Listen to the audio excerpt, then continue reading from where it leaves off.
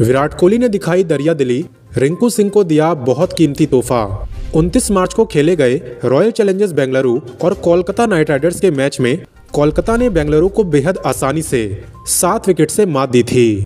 इस मुकाबले में विराट कोहली ने उनसठ गेंद में तिरासी रन की पारी खेली, जिसमें चार चौके और चार छक्के शामिल थे। और इस मुकाबले के बाद एक वीडियो भी सामने आया, जिसमें विराट कोहली ने अपना बल्ला केकेआर के विस्फोटक बल्लेबाज रिंकू सिंह को गिफ्ट में दे दिया। वैसे विराट ने ये सही किया या गलत, कमेंट करके बताएँ।